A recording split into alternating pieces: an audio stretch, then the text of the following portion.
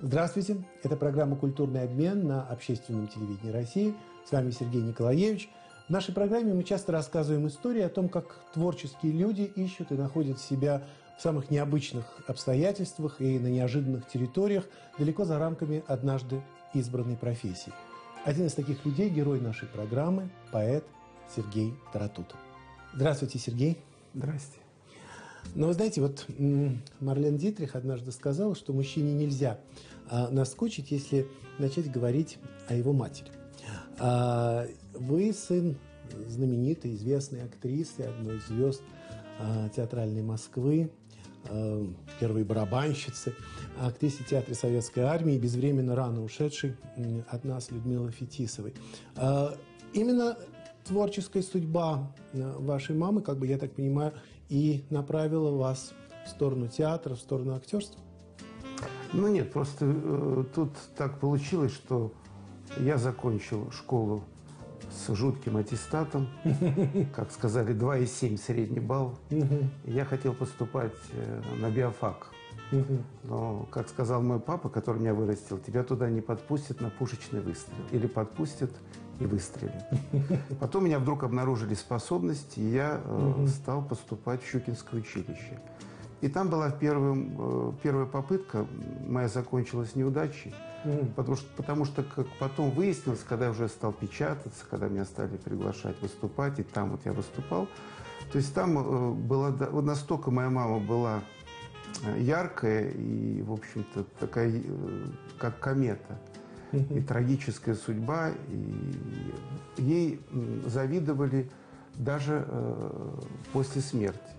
То есть там был один человек, не последний в училище, который, в общем, я был еще 16-летний. То есть они как бы сказали, что пока не надо.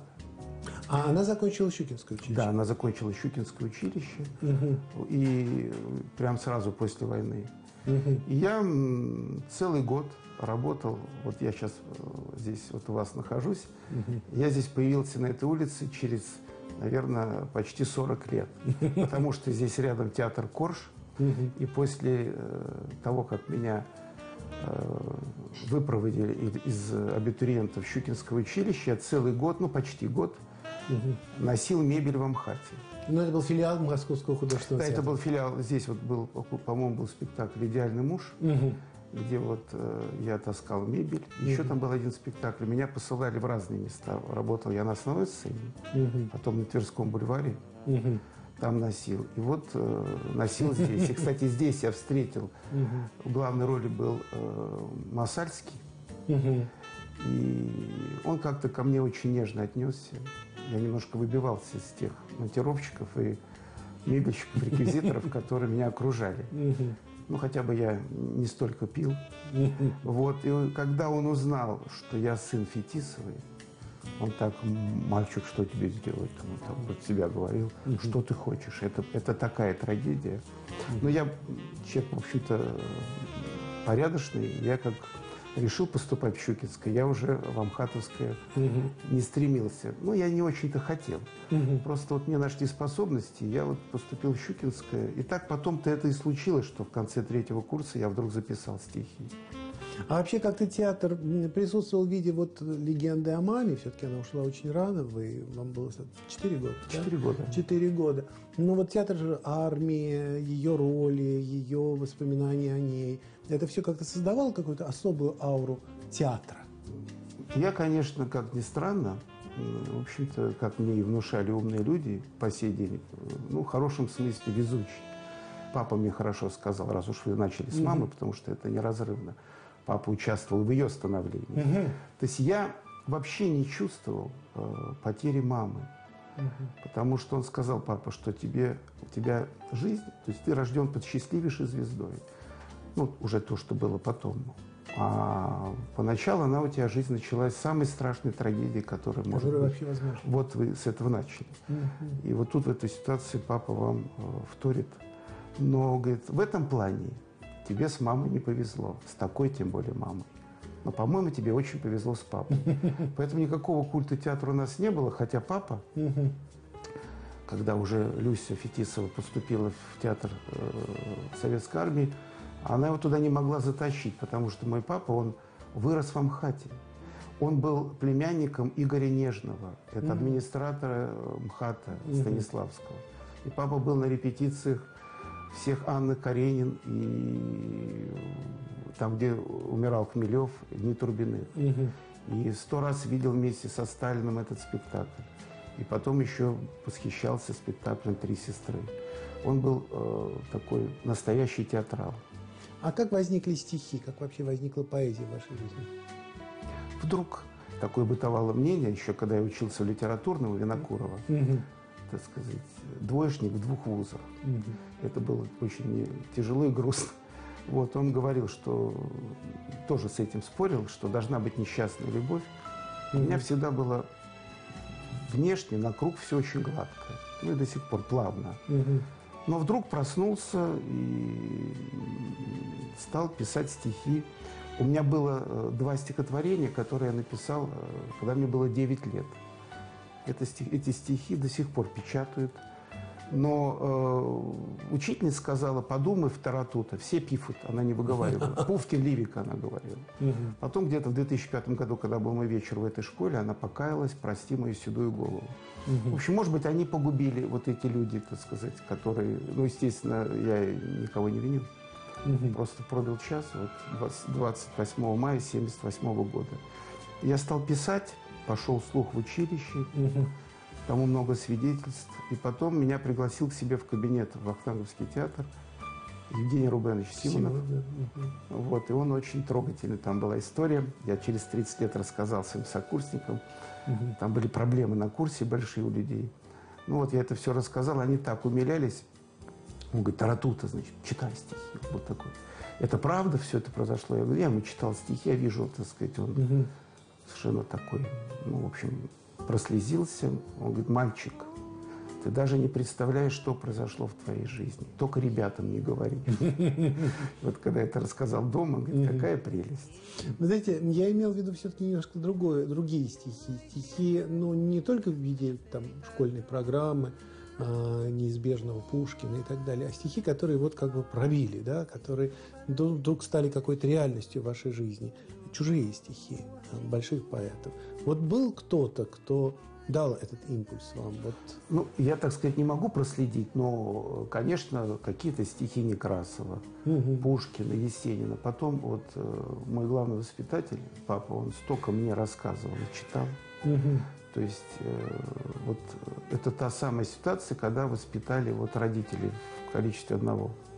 А вот то, что касается вашей эм, программы, да, вот, ну, с которой, как правило, приходят абитуриенты, вы помните, что вы читали? Э, Там же всегда Ну, читают стихи Это прозы. я не помню, что Мгм. я читал. Э, Мгм.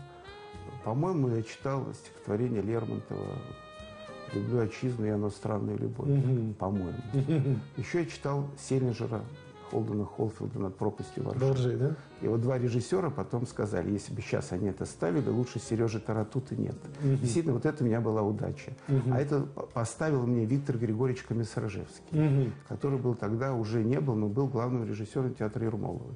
Но он был известный еще театральный да, он, критик, да, он, да, он писал литературки, театров, вот да. как раз мы с ним вместе, там моя подборка, рядом его статья. Он очень гордился, это было вот незадолго до его смерти. То есть он вам поставил эту программу, да? Он поставил, и я, так как челениво, я на нем, на, этой, на этом Холдене Холфилде въезжал все. Но, правда, это было действительно, всем очень нравилось. Но не больше. Ваше э, обучение в Щукинском училище, оно как бы э, прервалось, вы не закончили? его? Нет, нет, нет. Там все было просто, тоже благодаря вот э, тому, что меня сразу стали печатать. Мгм. Это тоже редкий очень случай в то время. Ну, Евгений Рубенович, значит, я попал, по- пошел с пятью стихотворениями к- в Новый мир. Там меня встретил такой полный, немножко с такой женской внешностью, красивый Евгений Винокуров. Мгм. Он мне сказал очень хорошие слова. Вот эти стихи, так сказать, я до сих пор помню, которые он читал ну, в рукописи. Мгм. Он говорит, что я, говорит, вас сейчас не могу печатать, Потому Почему? Что, ну, потому что там были свои, наверное, какие-то... Была своя очередь. Очередь, а да. потом объясню сходу. Нельзя. Ну, да, никто не решится. Только Лигер, которая обо мне писала, вот она так написала, но она была Лигер. Мгм. Потом это уже в пример, я клянусь, не за себя вот ставили, вот как надо писать о молодом поэте. Мгм.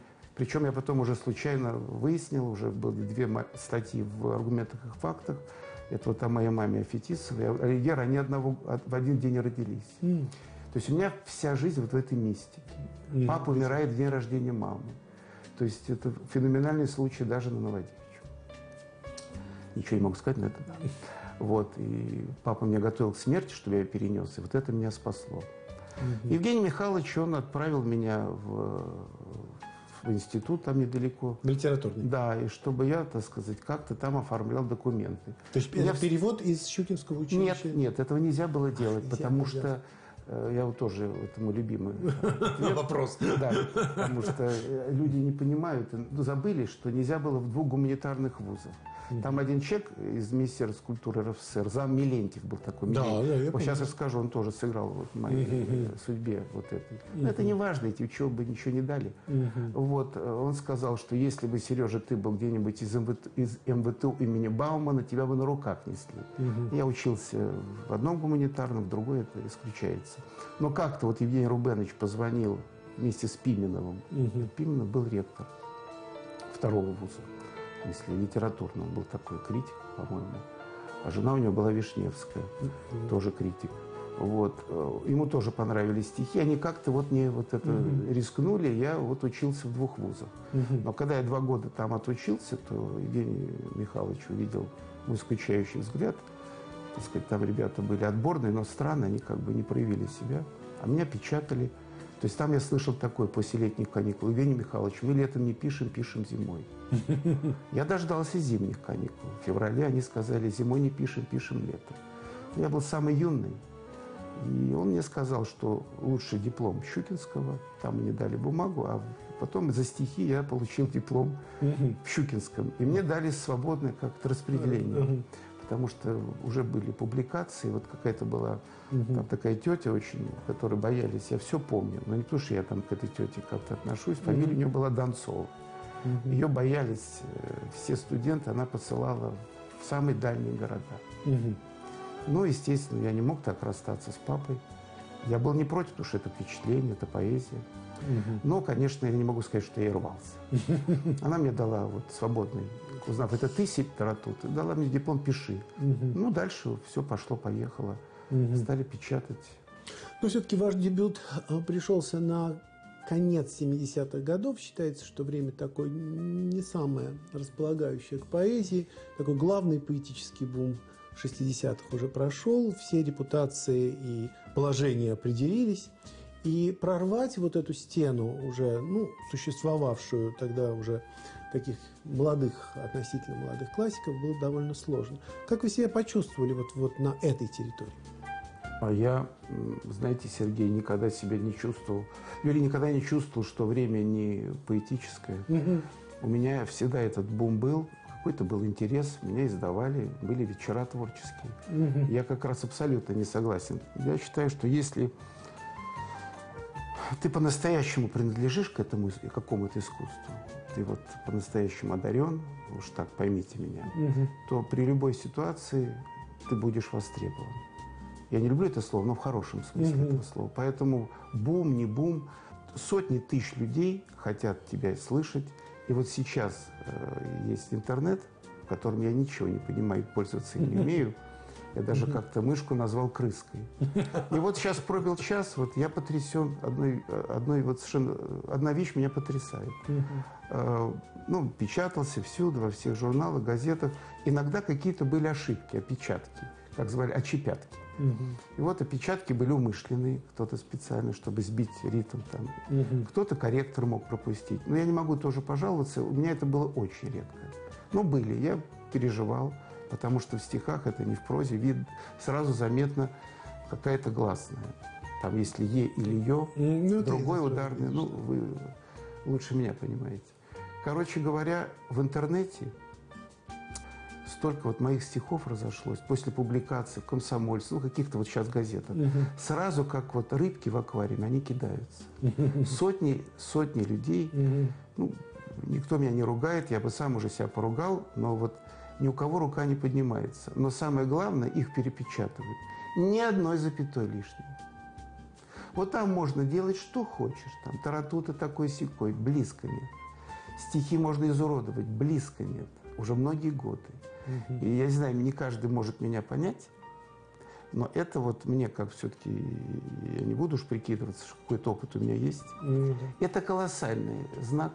Мгм. Вот с таким трепетом уважением ни одной э, Опечатки, опечатки, где абсолютно все можно. И все-таки первую вашу книгу вы издали в 92-м, кажется, году, да? Да, это, Это, вот первый сборник за, ну, практически там 10-12 лет уже такого активного довольно присутствия уже. Ну, э, вот говорят, рукописи не горят. Э, У меня сгорело. да? Объясняю. Значит, э, я попал в 87 году в план э, издательства «Советский писатель». Мгм. Потому что уже много печатался. Ну, уже было, как кто-то сказал, нельзя не издать. Ну, в общем, короче говоря, куда-то книжка попала. Это, видимо, какая-то была единственная в моей жизни вот провокация. Мгм. Что ее сожгли. Через 12 лет куда-то эти рукописи отправляли. На, в топку. Мгм. Ну, а куда еще-то? Я же согласен, естественно, ничего э, заваливаться, это же рукописи. Мгм. Вот, и я помню, шел по улице Воровского, и мне так было грустно. В общем, мне было 30 лет. А почему грустно? Потому что я из своей лени не имел вторых экземпляров. Взяли у меня первый и второй под копирку. Тогда Мгм. не было вот тех возможностей, как Ну сейчас, да, когда мне приняли, все...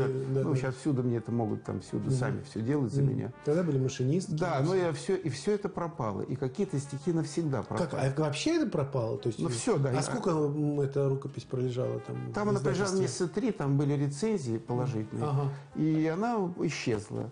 Там была, в общем-то, легкая паника. Вот. И я помню, шел очень грустный и вспомнил анекдот, как цыган смотрит где-то в таборе на своих детей, там 12 детей или 15, он они все грязные, там неухоженные, он так смотрит, чешет затылок, говорит, этих помыть или новых нарожать?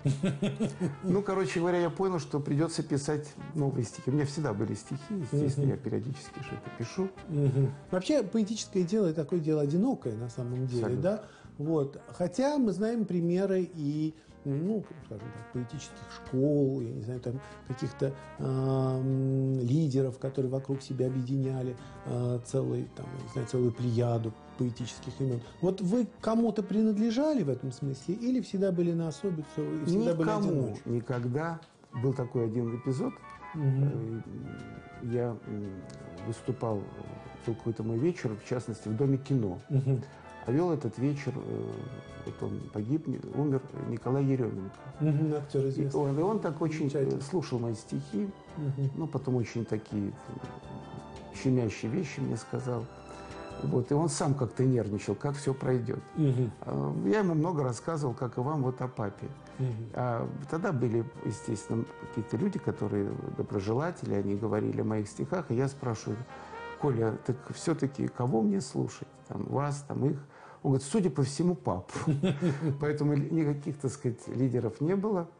Да и это, по-моему, тоже э, досужие домыслы, потому что настоящий художник всегда должен быть э, один э, по неволе.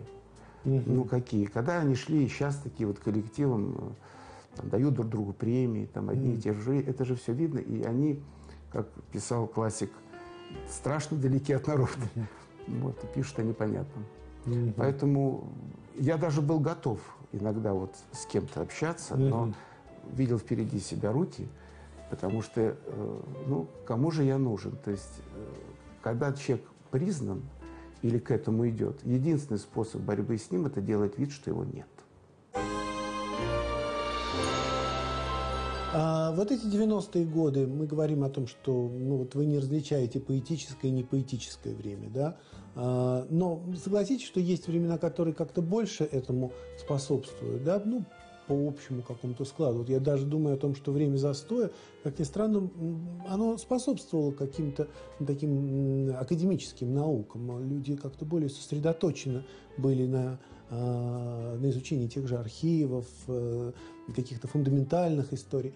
А вот время перестройки совсем к этому, мягко говоря, не располагало. Ну, прежде всего, не только потому, что не было финансирования, но сам ритм жизни, он был таков, что, ну, как-то эти люди оказывались на обочине. Вот вы сейчас вспоминаете эти 90-е годы, уже, в общем, состоявшимся поэтом, с каким чувством? Ну, как, я там жил, это была моя родина. Кстати, как и к советской стране. Я не могу сказать, что там было все плохо. Там родились мои родители, моя мама, который вы, с которой вы начали наш диалог. Я к ним отношусь хорошо, потому что в 90-е годы меня, кстати, в отличие от э, кого-то, стали издавать. Угу. То есть, когда э, вот это все очистилось, то в какой-то степени вот э, возможность лучшим, э, лучше себя могли проявить. Угу. Появились, э, появился этот несчастный наш до сих пор бизнес, угу. который в меня вкладывал деньги. Угу. Не в какие-то журналы чернуху, а вкладывали в поэзию. Тут тоже я могу сказать, что мне гневить Бога нечего. Но грустить я продолжаю все равно. И все-таки какой, ну, какой главный предмет вашего сожаления? О, чем, о чем вы сожалеете больше всего? О том, что моих каких-то последних успехов не видит папа. Но все говорят, Сережа видит. Угу. Вот то, что связь огромная. Угу. Ну, жалею о том, что, как сказать, даже не знаю. Но все, я считаю, все равно, все равно идет медленно. Вот. Никто, э, как бы ко мне не относились, вот не занимается вплотную поэзией. Угу. Вот. Сейчас, э, э, конечно, не знаю, что будет дальше, хотя какое-то предложение у меня появилось. Естественно, все мы обречены на успех, все это будет, но ну, я считаю, что просто, или, может быть, мне кажется, что вот медленно все идет. Как-то раньше было все быстрее у меня. Вообще, как сразу стали печатать. Но это э, абсолютная мелочь.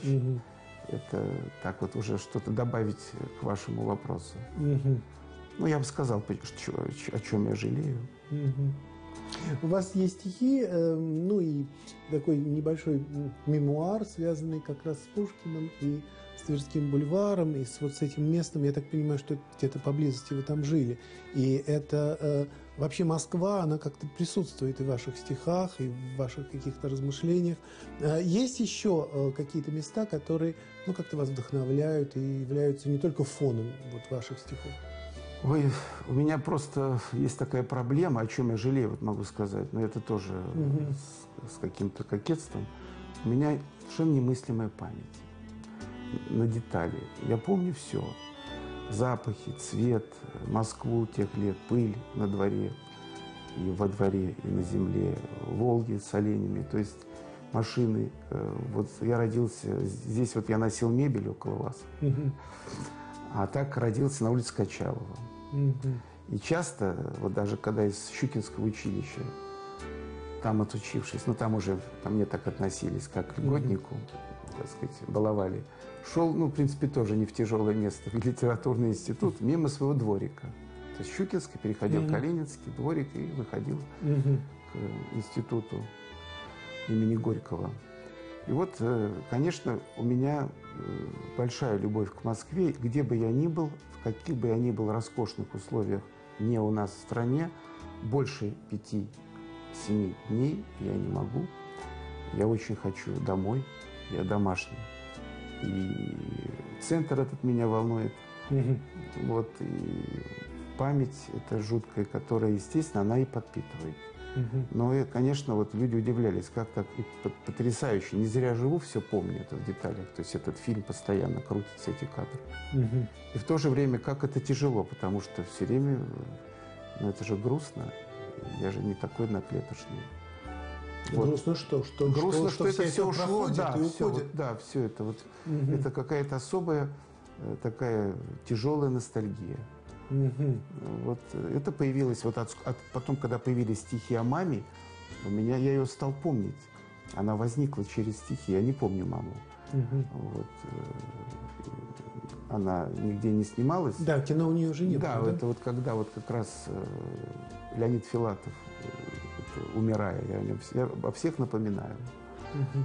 Каждому человеке, который вот со мной общался, он, умирая, сделал фильм о Люсе Фетисовой, чтобы помнили. Мгм. И вот он сказал, что он даже плохо говорил в связи с болезнью. Но он говорил, что как усложнила задачу, что она нигде не снялась.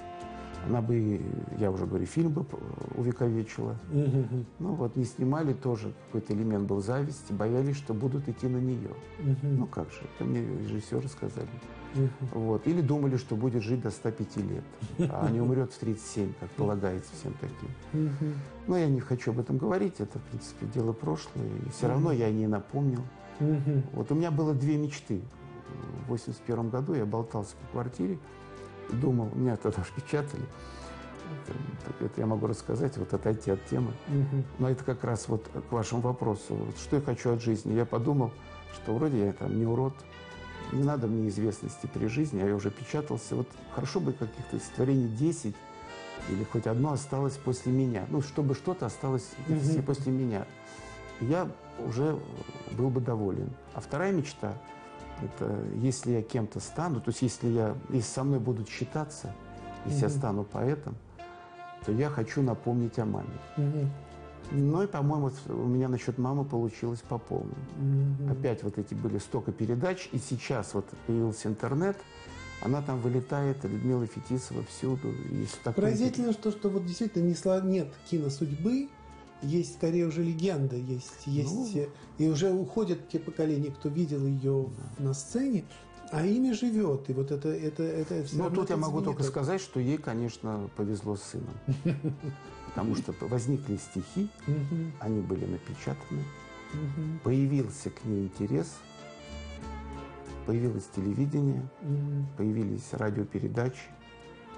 Я стал рассказывать. И вот то, что я мечтал, мечта сбылась. А если я вас сейчас попрошу, ну, одно какое-то стихотворение, посвященное Людмиле Фетисовой, сейчас прочитать. На могиле матери, актрисы, прожившей 37 лет. Ни конца, б, ни края мечте, но написано на гранитной серой плите Эл Фетисова умереть, к тому же весной дождь, процессия. Возраст выдал сороковой и профессия. Понедельник, вторник, среда, четверг, пятница. И обратно жизнь никогда не попятится. На Водевиче мокрый снег не погодится. И молчит средь крестов коллег Богородица. Я читал ваш сон однажды, да? Это ваша встреча с ней на метро университет. Ну, Да, вы это- лучше меня знаете. Ну, как выясняется, какие-то действительно такие щемящие и царапающие подробности, и этот диалог такой загробный пос- после всего. Вот. э, Эта тема не отпускает, это, это присутствует, и, как ни странно, с годами, может быть, она становится еще сильнее в жизни, да, и присутствует. Ну вот сейчас, Да. в этом году, помимо того, что вот э, меня стали, ну, п- приглашают, так как год литературы, хотя год литературы должен быть каждый год в стране. Я так не понял этого. Ну, в общем, год литературы, слава богу. А э, всем поэтам, прозаикам я желаю вот сейчас рвануть. Мгм. Вот. И еще это совпало с 90-летием, э, вот, э, как э, 90 лет моей маме, Люсе- Людмиле Фетисовой. Вот в 95 году 25-95. Мгм. Ну, вот сейчас я, естественно, ну, как-то мне все получалось мягко и легко в жизни, это, э, без напряга, как и должно быть. Мгм. Вот. И я сейчас буду вот что-то напоминать о маме, какие-то передачи. Мгм. Какая-то будет, естественно, наверное, э, газетная публикация. А вы не думали о том, чтобы, ну, я не знаю, сериал, не сериал, но, по крайней мере, снять фильм, э, ей посвященный, с, может быть, это был бы художественный фильм? Нет, художественный фильм это вот э, был такой актер э, Федя Чеханков. Да, конечно. Вот. Он, э, я, его знал да, вот э, я где-то года два назад Мгм. нашел кассету. Было большое-большое со мной как бы встреча на «Эхо Москвы». Мгм. Я даже забыл о его потрясающем выступлении по поводу моей мамы. Там ведущий, значит, я читал стихи, отвечал на вопросы э, слушателей. Мгм. Там много стихов я читал. Ну, вдруг туда они включили Федора Чеканкова. И вот он а, говорил о ней такие вещи, что они как бы из одних краев. Он всегда говорил Тургенев, Фетисова, я про себя. Вот. Но он говорил, что я никогда не видел таких потрясающих зубов, и чтобы так плакали на сцене. Он о ней так говорит, вот эта кассета есть. Мгм. Вот. И он говорит, что, конечно, судьба Фетисовой – это абсолютно сюжет для, как он сказал, роскошного художественного фильма. Только кто ее сыграет? Я бы это все, конечно, предложил. Но это, правда, радиопередача. Мгм. Вот. И, конечно, какая бы она ни была, очень трудно их убедить сейчас вот среди, в общем-то, этого, этого э, цунами пошлости, что надо это сделать. Но вот даже по этим просмотрам пресловутым, там столько просмотров, все вот эти передачи, которые были на культуре, э, на Первом канале, то, что снял Леня Филатов. И еще там была передача по столице шикарная. Мгм. Там все смотрят, и те, кто ее не знал. А, Сергей, скажите, вот вы упомянули эти цунами пошлости, среди которых мы обретаемся. Вот как вы от них спасаетесь? Есть какое-то противодействие? Я? Да. Да никак и не спасешь. Пусть они там, мало ли, Мгм. стоков в море. Мгм. Какие-то речки, знаете, где-то текут откуда-то с гор. Непонятно, что они набирают, если там селение. Никак. Ну, конечно, мне обидно, что я же не... Боже упаси, чтобы всюду были стихи. Боже упаси. Но какие-то вещи надо давать подпитывать. Я на себе это испытывал. Когда вот в каких-то смешанных выступлениях меня все время под конец, чтобы я не портил никому потом.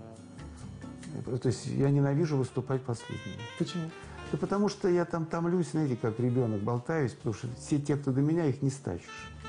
Есть регламент, как бы все почему-то вот хотят дольше стоять на сцене, рассказывать, петь, плясать. Вот. Ну и не очень они часто держат публику. Мгм. А я вот где-то с 25 лет вот с одного выступления в колонном зале вышел альманах у Нины Буденной, это дочка. Вот, и там вот были мои стихи, там был «Реквием», там было «Собачье сердце». Вот я все время с покойниками попадал. Мгм. И там были их родственники, вот меня всегда под конец. И я тогда сказал, что родственники тех, кто напечатан. И вот я помню, затянулось на 4 часа. Я вышел читать там стихотворение, назвали «Пса пиратом». Его много пить. Это мое самое первое стихотворение, которое написал. Вот Мгм. когда шел от МИДа в сторону Щукинского. Вот я Мгм. вышел из троллейбуса, вот вдруг это началось. Мгм. А так вот томишься, томишься всегда. Ну, как правило, на- напоследок Не, вот, не дай звезд. бог, вот не надо. Вот вы говорите, как насчет пошлости, никак, так и к этому. Я вот, если где-то меня приглашают, я вот теперь прошу, чтобы Чтобы быть первым, первым. В прямом смысле. Скажите, ну вот вы обозреваете вокруг э, и своих современников, и, может быть, э, поэтов более молодого поколения. Есть ли кто-то, кто, ну, на, кого вы остан- на ком вы останавливаете свой взгляд? Это вот было три вопроса, когда я стал выступать. Три. Мгм. Я эти вопросы собирал, их были мешки. Но три вопроса, они превалировали. Мгм. Значит, кто ваш любимый поэт? Совершенно, в общем, странный вопрос. Ну, кого это волнует? Второй был вопрос, это до 85 года. Как вы относитесь к Высоцкому?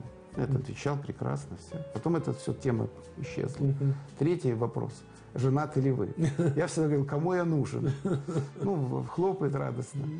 Ну, насчет поэтов, э, на, на ком э, присылают стихи, чтобы вот мне показывают в интернете.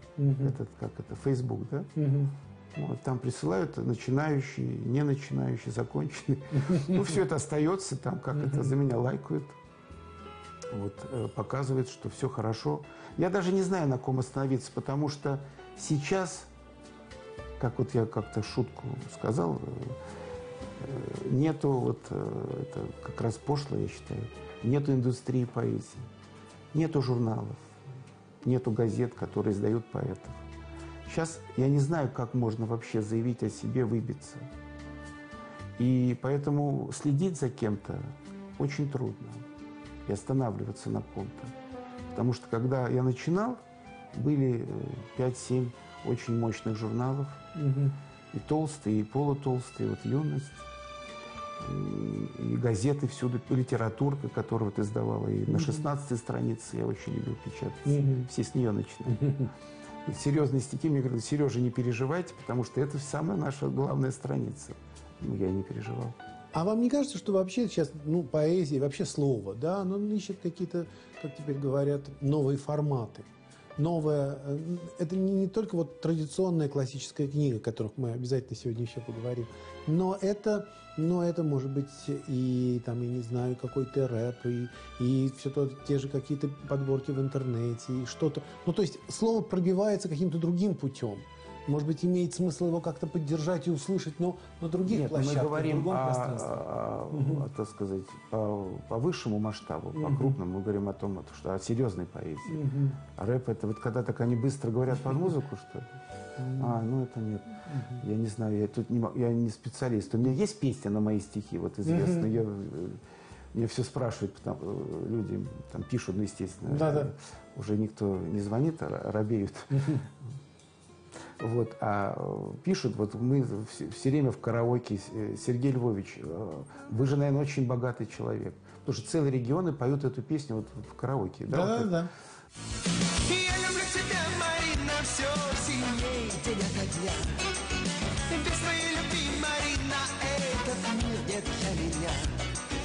Встречи так недолгие, расставание впереди. Разлетимся, как осколки, и попробуй-ка найди.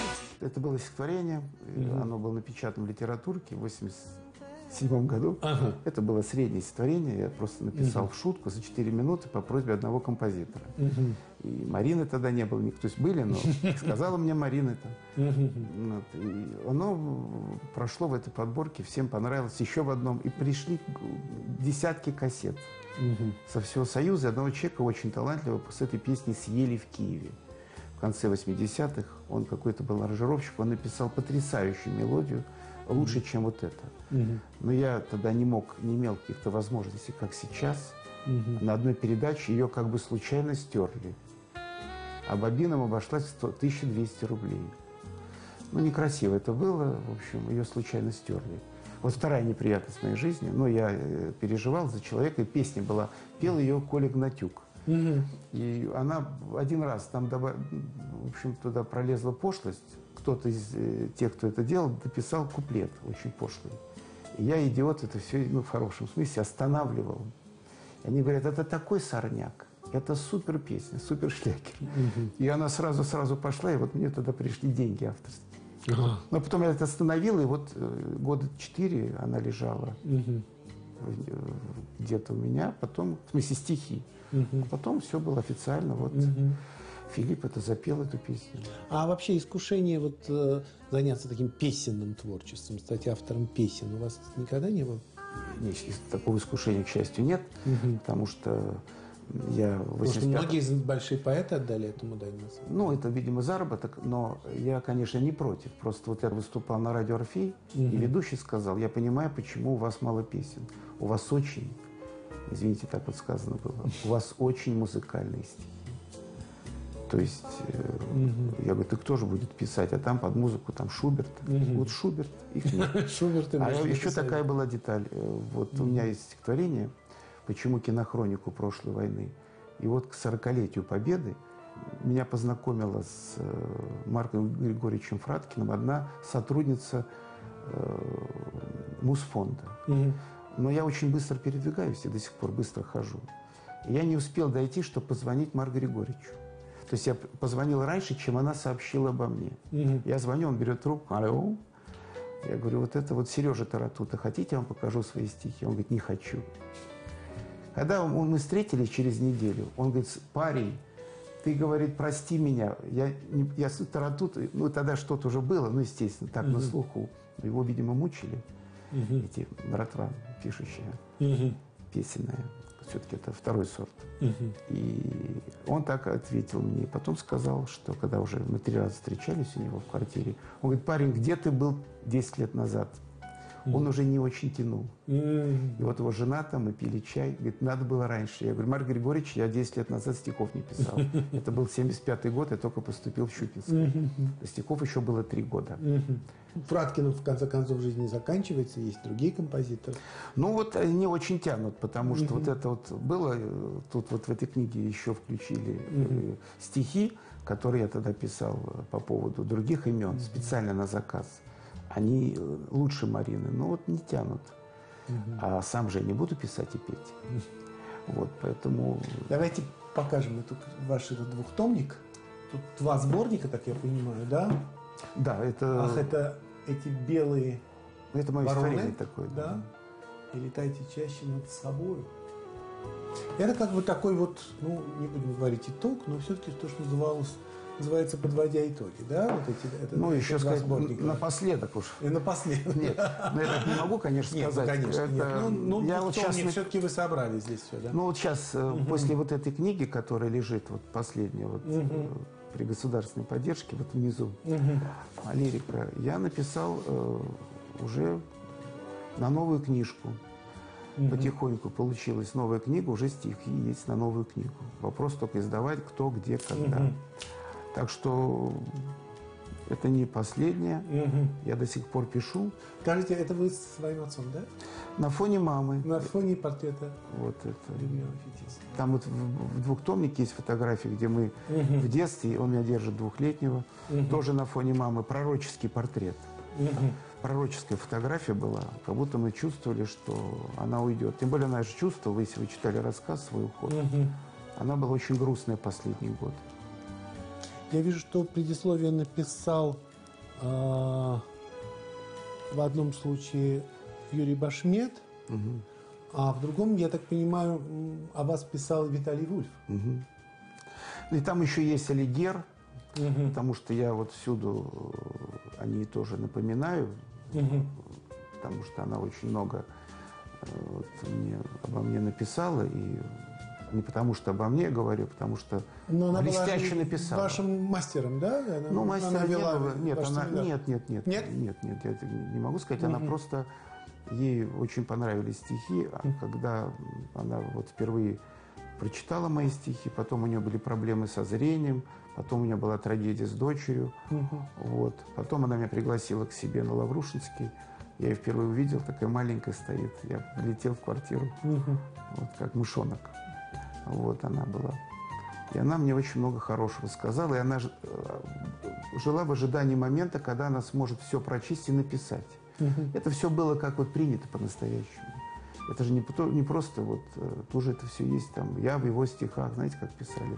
Все под копирку. Ее боялись все. Вот и Межеров сказал, что он ее боялся. Мгм. Вот он позвонил ей, и вот, значит, меня свел. Такой был тоже замечательный поэт. Если я вас сейчас попрошу еще прочитать одно стихотворение, такое не боящееся, может быть, простоты, а может быть и сложное, на ваш выбор. Когда-то было нам по двадцать, и был не виден горизонт. И было нам куда деваться, и верить в счастье был резон. Кружились дни, как в карнавале, хотелось бегать в запуски, и кладбище не вызывали печали, грусти и тоски.